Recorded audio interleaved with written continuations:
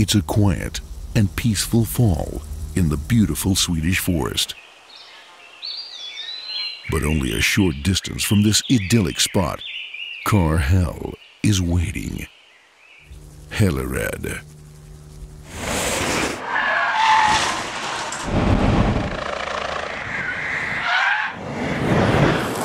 Here, Volvo cars are made to suffer around the clock. In extraordinarily tough conditions. In just a few months, cars are aged as much as during the entire anticipated lifetime of the vehicles in normal traffic. The test facility at Hällered in Sweden is a veritable torture chamber for cars. It's here that tomorrow's components and cars are tested long before production is started. Here, the wheat is sorted from the chaff. For a lifetime test, a car is driven really hard for 160,000 kilometers in just under a year, the equivalent of four complete circuits of the Earth.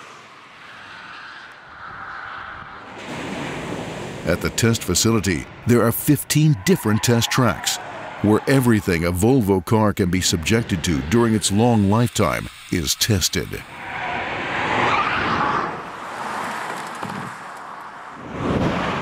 On the main track, they torture cars at full throttle during interminable driving cycles at speeds over 250 kilometers an hour.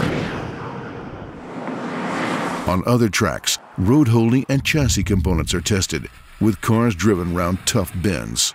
Every year, test drivers wear out some 2,000 tires. The facility also includes tracks where they test four-wheel drive vehicles over extreme off-road conditions. On the 5-kilometer public highway track, there are many types of demanding surfaces, just like those to be found on real public highways. The cascade of salt water on the lifetime track severely tests the bodywork's rust protection. The suspension and shock absorbers really have their work cut out where the surface is cunningly aggressive. Gravel tracks are a Nordic specialty that really challenge road holding qualities. The car's active safety system is also tested at the facility. A special rig has been developed just to test the pedestrian detection system the 75 test drivers who work at the facility play a key role.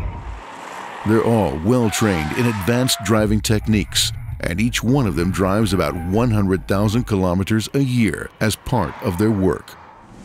It's their careful work that's the backbone of the entire operation. In the workshops and service stations at the facility, operations are carried on around the clock, all year round. Test cars must be kept going, and every hour is expensive. All the time, there are new cars waiting for their baptism of fire in car hell.